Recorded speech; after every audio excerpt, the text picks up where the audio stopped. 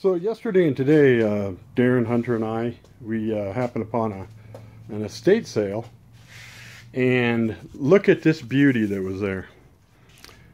And it's called an Exercycle. It's mid 50s.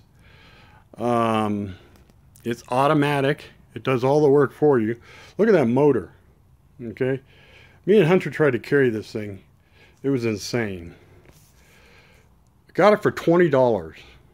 Okay, look at that. That trailer tractor seat alone is is probably worth 40, 50 bucks.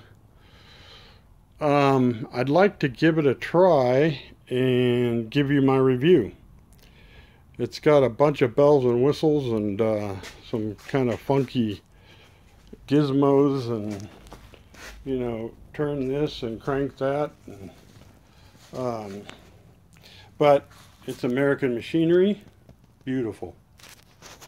So I'm going to pause it for a second and I'm going to get on and show you how it works.